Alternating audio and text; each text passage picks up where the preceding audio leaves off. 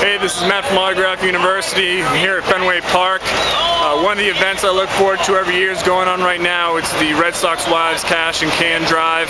The deal is for every $10 you donate or 10 canned food items, uh, you get one Red Sox player signed photo. The trick is that they flip them over so you're not sure who you got until you uh, until you select it. So there's really no strategy. Um, no matter what happens, even if I end up with uh, a bunch of middle relievers, it's all fun. It's all for a good cause. So uh, let's see how we do.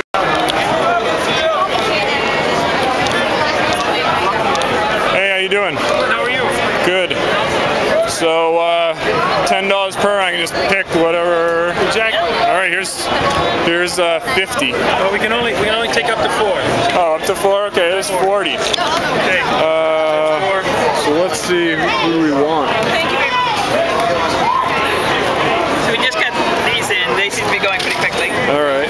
Um, yeah, Take a Carl Crawford. Yeah. Are you getting any more in? Uh, I think this is probably where we're going to be going with the guys getting ready for the game. Gotcha. Okay. Um, I'll go JD Drew. Okay. There you go.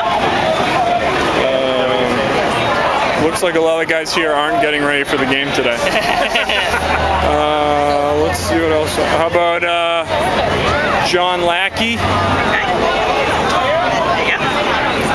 All right, let's see what How else about we got. Salty. We got Darnell McDonald. We got some pictures.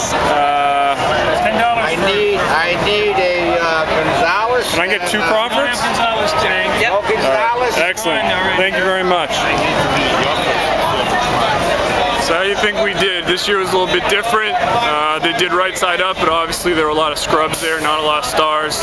Um, but kind of psyched about Carl before. Uh, but anyway, $40 to Great Boston Food Bank. We had fun.